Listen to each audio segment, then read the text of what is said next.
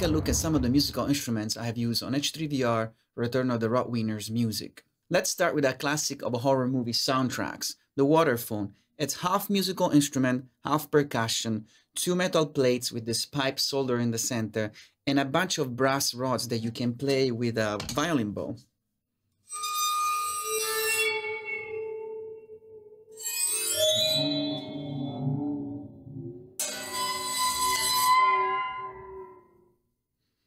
It also has a little bit of water inside and its weight as you move it will bend the bottom plate and create even more variety. I have mainly used it on the level lakeside. So let's take a listen to the waterphone played with the violin bow, first soloed and then in the context of the whole track.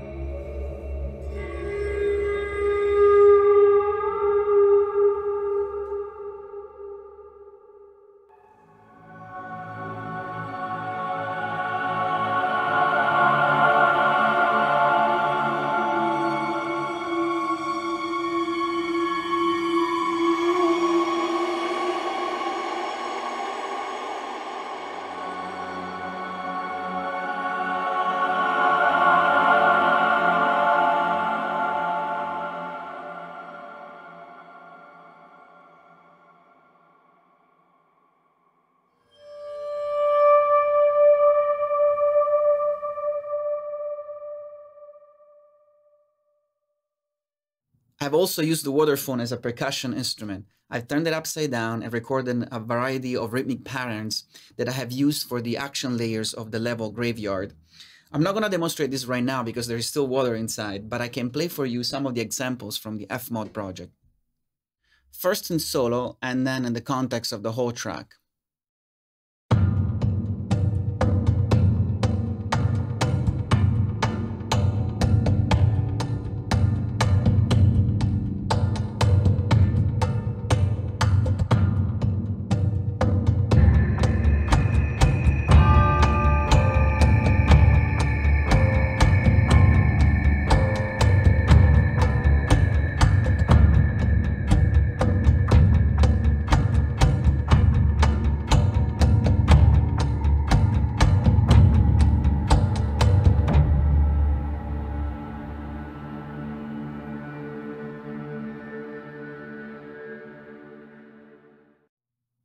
Inspired by how the waterphone works, I thought I could create a unique instrument by removing the handle of this aluminum bucket and running a guitar string through it.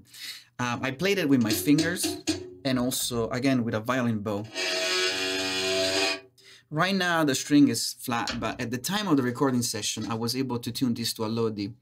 Um, again, let's look at some examples from the Fmod project. Let's start by listening to the aluminum bucket with the guitar string, first in solo, plucked with my fingers, then in combination with the waterphone rhythm, and then in the context of the whole track.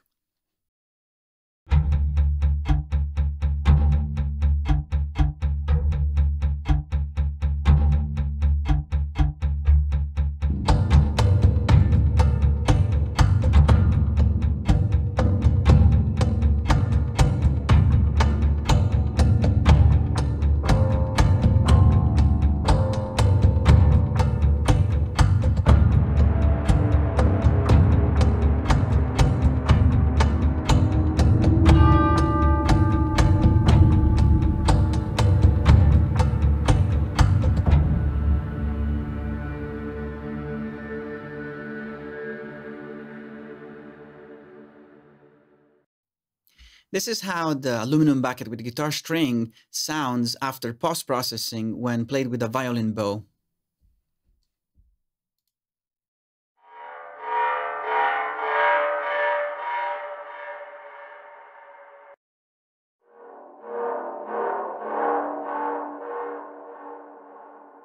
And one more time, let's listen to it in the context of the whole track.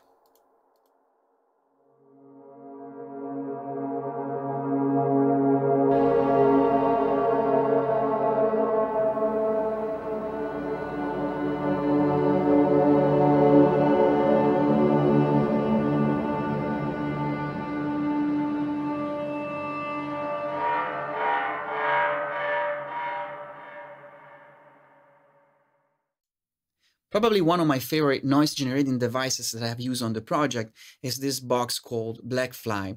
It's made by a small company in New York called Electrofaustus and is four metal springs attached to what it looks like a guitar box and with some kind of pickup inside that sends the sound to either a guitar amplifier or your audio interface. The way I played it on the project is by uh, using this uh, strange guitar pick called Jellyfish, which is some kind of metal brush, and I use it to scrape the springs. What I wanted to recreate was the sound of a zombie approaching you from behind while dragging uh, maybe an axe on the floor or some kind of metal rod and ready to attack you. Again, let's look at some example from the Fmod project. First in solo, and then in the context of the whole track.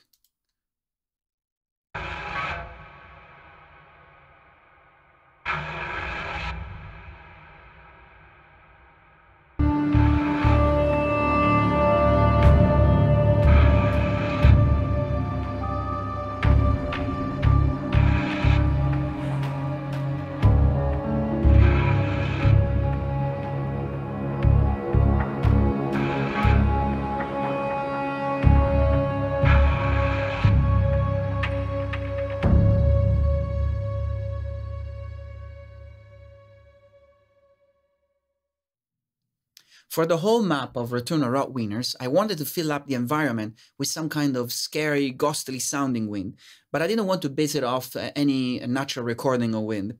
Instead, I've used an Aztec death whistle. This is a replica of what is thought to be some kind of warfare scare tactic device. And I can see why. When you blow through it, it sounds like a human being screaming in pain. I'm going to demonstrate this for you, but keep in mind, this is very difficult to record and it's probably not going to sound the way it sounds when you listen to it in in person. It's probably going to sound kind of silly.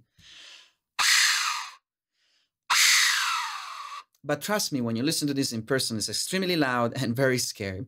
Um, because i wasn't able to record it properly uh, i wasn't able to use it the way i wanted. But with some heavy post-processing i was still able to create the ghostly scary wind. And one more time let's look at some examples from the fmod project these are some of the kind of textures I was able to create uh, using the Aztec Death Whistle and a variety of effects. I'll play them in solo as usual and then in the context of the whole track.